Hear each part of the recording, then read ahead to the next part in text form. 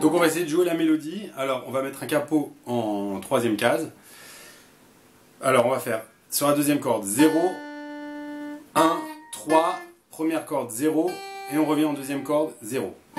Donc 0, 1, 3, on change de corde 0, et on revient en deuxième corde 0. Deuxième passage, on reste sur la deuxième corde, 1, 3, 0 sur la première corde, et 0 sur la deuxième corde.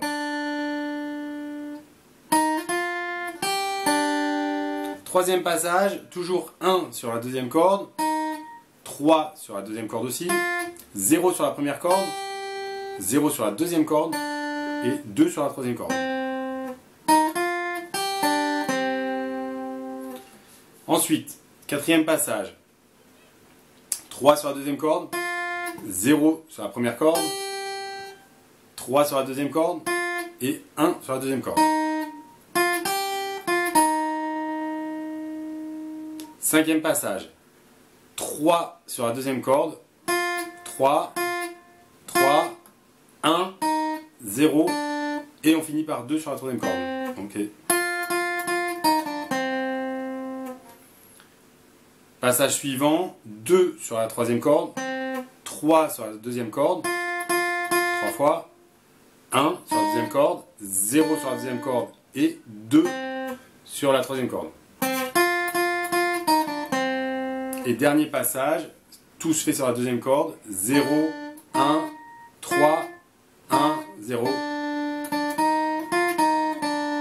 Alors je refais toute la mélodie doucement.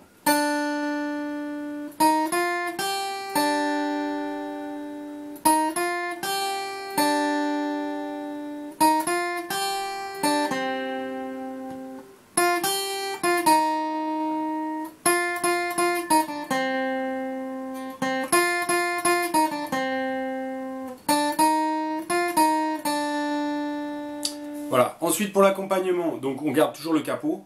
Les accords, ça va être des mi mineurs. Donc 0, 2, 2, 0, 0, 0. Si mineur, là c'est un barré en deuxième case. 2, 2, 4, 4, 3, 2. Sol, 3, 2, 0, 0, 0, 3.